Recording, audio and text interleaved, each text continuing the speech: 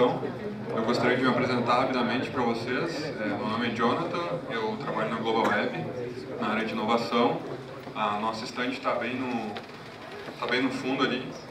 Quero ver o que está passando aqui. É, eu vou trazer só alguns tópicos aqui para vocês. São só algumas pinceladas. A gente vai falar sobre alguns, é, alguns itens importantes aqui para vocês que a gente está no evento de DevOps, que é Container Docker, o orquestrador Kubernetes e o orquestrador do orquestrador, que é o Rancher. É, quantos, quantos segundos está? 15 segundos? 40? Bom, aqui a gente tem uma imagem ilustrativa do Docker. Quantos de vocês aqui já estão trabalhando com Container Docker? Só para mim ter uma... Bastante gente. E com o Kubernetes? Tá mais do que eu imaginei. Até tem pouca gente vindo tirar dúvidas lá. E o Rancher, quem é que já ouviu falar do Rancher? Olha, então... E tá usando, ouviu falar e tá usando. A engine. Tá, então tá. Beleza. Bom, a gente vai estar, tá, é, a gente está ali na estante, a gente está a posto para tirar dúvida de vocês. A Global Web representa a Rancher aqui no Brasil. A gente já tem diversos, é, diversos projetos em produção rodando em clientes governamentais, clientes privados. E um dos fatores mais importantes é a gente precisa entender o nível de automação que o orquestrador como o Kubernetes traz para o processo de DevOps, onde é que a gente vai ter é, todo o pipeline, toda a parte de infraestrutura, tudo que vocês estiverem rodando nos containers Docker de vocês, vocês vão estar rodando ele dentro do Kubernetes. Vocês, vocês estão usando algum outro orquestrador fora o Kubernetes? Quem está trabalhando com container?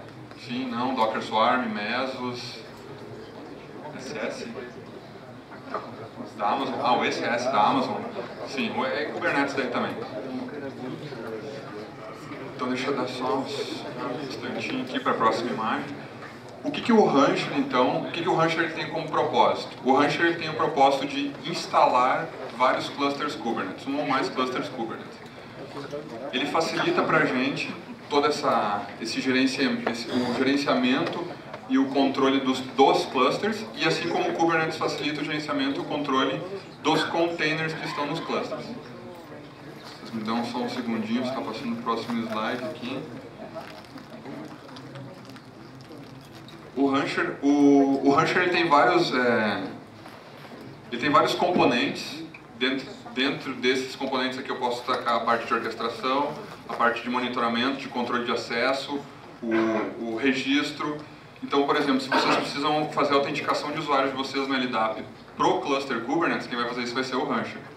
Aqui nessa imagem que vocês estão vendo, é uma imagem de, é, de alto nível que eu separei, só para vocês terem uma ideia, alguns dos principais componentes dele. E, a, e o próximo slide vai mostrar uma imagem de alto nível de tudo que o Rancher suporta ou seja, da parte, desde a parte de baixo dos hosts, onde é que ele vai estar rodando, as versões do Kubernetes, que ele vai estar trabalhando também, e as funcionalidades que ele vai, estar, tá, que ele vai, estar, que ele vai ter em cima dele. Se vocês quiserem depois, vocês me perguntem lá, eu tenho meu SlideShare também, e eu tenho algumas é, publicações no meu LinkedIn, onde é que eu dou uma, uma detalhada melhor nesses componentes também. E no meu GitHub eu tenho vários exercícios de Kubernetes também, para quem quiser fazer. Está disponível lá. Deixa eu carregar a próxima imagem.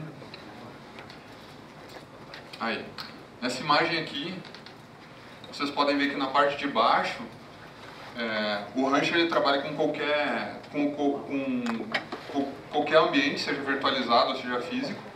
Em cima desses ambientes, desses hosts aqui, eu tenho minhas versões de Kubernetes, que pode ser várias, inclusive o EKS da Amazon, pode ser o ECS da Amazon também, pode ser o Google Container Engine.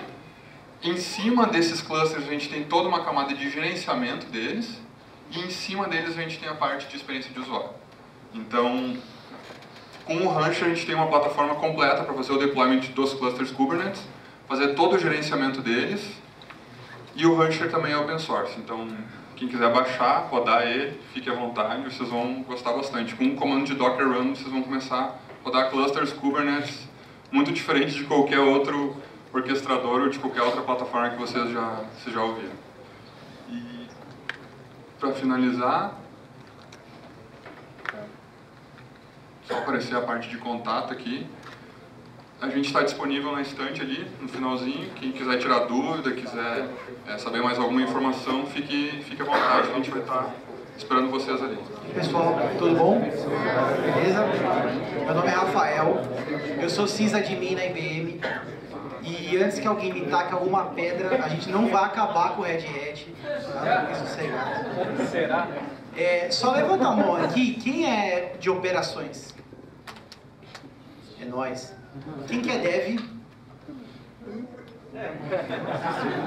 Bom, qual que é a ideia, né? De mostrar como que a gente consegue transformar um time antigo, que é o caso do meu time, da minha companhia, que eu presto serviço, na verdade, para trazer a solução nova, que é implementar o DevOps. Vai passar vários, são vários desafios que eu coloquei aí.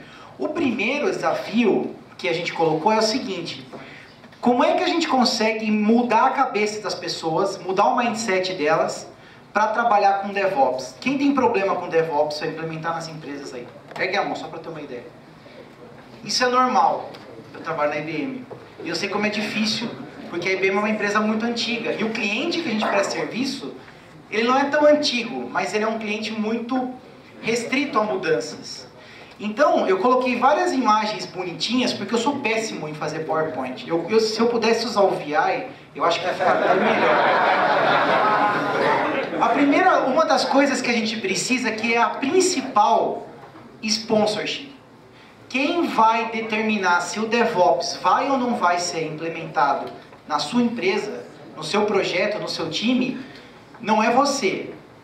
É a cadeia de comando que você segue.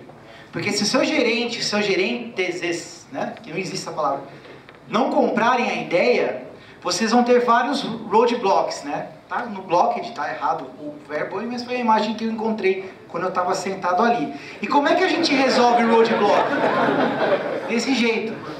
O meu projeto, o projeto que eu trabalho é para uma telecomunicação, uma empresa de telecom dos Estados Unidos, que acabou de ser comprada. Então esse meteoro foi essa compra. Porque uma empresa maior veio e adquiriu a empresa, o cliente que a gente trabalha. Por outros, não só porque não tem DevOps, né, quem dera, né, fosse só esse o motivo, mas é porque os bloqueios para tornar uma mudança ágil, eles são muito grandes. Tá? Eu quero contar uma historinha para vocês, e eu tenho ainda dois minutos e meio. Beleza. Em 2016, eu não sei se vocês sabem, mas maior do que a Black Friday e o Natal, nos Estados Unidos, o que mais vende no que se refere a celulares é o lançamento do iPhone. Não sei se vocês sabiam disso. Isso. Problemas de primeiro mundo, exatamente. E em 2016, por um erro operacional de capacity e manual, ou seja, de, de, foi um erro de sistema, um erro de capacidade, um erro manual, a nossa empresa, a empresa que nós prestamos serviço, ela ficou três horas fora do ar numa sexta-feira, lançamento do iPhone. E isso custa milhares, milhões de dólares. E vários empregos custaram, né? Por quê? Porque esse mindset de mudança ele é muito difícil.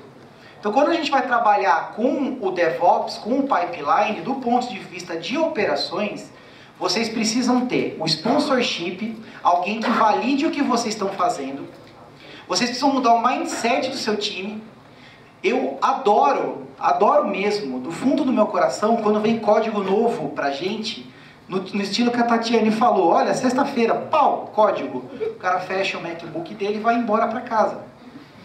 Esse deploy ele não pode vir direto para a minha operação sem que ele passe por um pipeline inteiro. Então, quais são os desafios que eu enfrentei, que nós estamos enfrentando para lidar com essa mudança?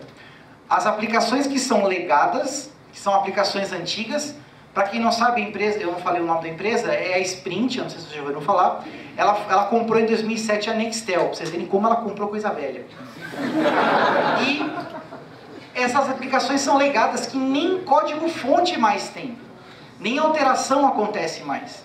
Então, como é que eu consigo integrar esse suporte? É lógico, se eu não tenho código-fonte, eu não tenho deploy. Né? Por isso elas funcionam até hoje. Mas, e as aplicações novas? Entram num pipeline. Esse pipeline definido, integrando os times, eu até coloquei um slide que é o slide anterior, nós criamos um negócio chamado de Virtual Teams. São times que contêm pessoas de cada área inclusive nós de operação, porque nós também sofremos quando o código vem de uma maneira não correta. O pessoal de, de teste também sofre com isso, o pessoal de dev sofre com a gente, porque chega 400 tickets para os caras da mesma coisa às vezes, porque está integrado o nosso pipeline, mas foi assim que a gente fez a mudança. Então, essas, eu falei bem rapidinho, porque são os minutos que eu tenho para falar, mas nós conseguimos, estamos conseguindo mudar a mentalidade de entrega de serviço, mesmo com a compra, etc. e tal. Isso muda, está mudando. E com isso, é, no finalzinho agora, nos 48 do segundo tempo dessa integração com a empresa nova, nossos códigos estão cada vez mais rápidos chegando em produção. E a gente está ficando cada vez mais competitivo no mercado. Gente, valeu. Desculpa aí o meu super slide. Olá pessoal, muito boa tarde. Meu nome é Miguel Matos. É, sou responsável técnico pela New Relic aqui no Brasil. Acredito que alguns de vocês já conheçam a nossa ferramenta, já utilizem a nossa ferramenta. Então ficaria muito feliz se aqueles que já utilizam levantassem a mão. Uh, que beleza! Bastante gente aqui já utiliza. Legal, pessoal. Aqui alguns números da New Relic, tá? Eu vou falar bem rápido aqui para vocês um pouquinho de melhores práticas uh, de como utilizar o New Relic para que você atinja uma perfeição, né, entre aspas, aí no DevOps. Vou falar isso no melhor estilo Enéas, né, rapidinho aqui.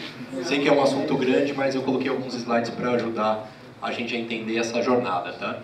É, a gente sabe que é muito difícil, né, a gente está passando por um período muito complicado, onde a gente tá, tem uma série de problemas para resolver em ambientes extremamente complexos e a gente precisa conseguir entregar mais e melhor cada vez mais rápido. E qual que é o segredo disso? Como é que a gente faz para fazer para obter números melhores, né? Como é que a gente faz para poder sair de um ponto A para um ponto B dentro da jornada DevOps, integrar as, o desenvolvimento com operações e conseguir com isso obter sucesso? Não é tarefa fácil. O segredo é o seguinte, pessoal. A primeira coisa é uma, um cultural shift, ou seja, a gente precisa mudar um pouco a cabeça das pessoas em relação a desenvolvimento, em relação à operação e entender que tudo é uma coisa só e a gente precisa de uma visão única de tudo o que acontece dentro da nossa infraestrutura e da nossa arquitetura. Então, dentro dessa jornada, o que, que a gente precisa? É se preparar, ou seja, a gente precisa fazer instrumentação de todos os nossos ambientes, desde o desenvolvimento, homologação e produção, para que a gente tenha informação. E aí a gente vai fazer o que? A gente precisa ativar, ou seja, a ativação significa tomar ações rápidas de correções para o ambiente de produção e também para o ambiente de homologação e desenvolvimento. E com isso fazer otimizações dentro do nosso código. A ideia é instrumentar, essa é a palavra-chave. Então, ou seja, definir linhas de base ou seja, quais são os KPIs, quais são as informações que a gente precisa ter para saber se o nosso software, se a nossa aplicação é saudável. Com isso, a gente vai conseguir fazer releases mais rápidas, porque a gente entende onde estão os problemas, a gente sabe exatamente o que atacar no momento certo. Quando o nosso código vai para a produção, ele já vai uh, com uma, uma uh, um ponto de qualidade melhor, e com isso eu consigo atingir o aperfeiçoamento contínuo, ou seja, sempre vou estar aperfeiçoando meu software com base nas informações. Então, do momento que eu tenho a instrumentação da performance, da qualidade do meu software, desde o início, desde o desenvolvimento até a produção, eu vou colocar todas essas informações em um painel e vou conseguir fazer a medição do que está acontecendo com os meus deploys e a partir daí sim eu consigo entregar né, o, o DevOps de uma forma melhor. É, aqui alguns números né, de saving, o que, que você consegue né, fazendo essas instrumentações desde o desenvolvimento até a produção, alguns resultados que você consegue obter. Percebam que o MTTR é o grande campeão, né, ou seja, o tempo de reparo ele fica muito grande, ele acelera muito. Por quê? Porque eu já conheço alguns problemas que já estavam acontecendo em desenvolvimento, eles já vão para a produção sob controle, se não vão resolvidos, e às vezes a gente tem que resolver o problema em produção mesmo. Né? Então, com isso, a gente já tem um conhecimento melhor do que está acontecendo no nosso código. Aqui algumas, né, é, algumas palavras-chave né, de alguns dos nossos clientes que utilizam é, o New Relic nesse sentido de DevOps. Tá? Então aqui algumas palavras-chave como best in class, né? ou seja, eu consigo ter, uh, usar instrumentação e usar monitoração né, do New Relic para ter um software é, de alta confiabilidade, é o caso desse nosso cliente aqui da Top Golf. É, Airbnb também cliente nosso, né, dizendo que é, importa sim a disponibilidade, importa sim né, o aplicativo está sempre disponível e com, né, com a contínua, com continuous delivery, né, você precisa garantir isso com base em instrumentação. Uh, e é lógico, você precisa saber os problemas, né? você precisa entender os problemas antes que ele impacte o seu usuário final. Tá? E isso você só consegue se você instrumentar e tiver o conhecimento de performance da, de todas as suas aplicações desde o momento que ela nasce até o momento que ela é entregue. Tá? É, pessoal, então era isso que eu queria falar para vocês, tá? passar esse recado rápido para vocês. Não esqueçam né, de instrumentar o código de vocês desde o início até o final, trazer esses KPIs para dentro, né, entender esses KPIs, fazer as comparações para que você tenha certeza de que aquilo que você está entregando né, tem a qualidade esperada para o seu cliente final. Muito obrigado.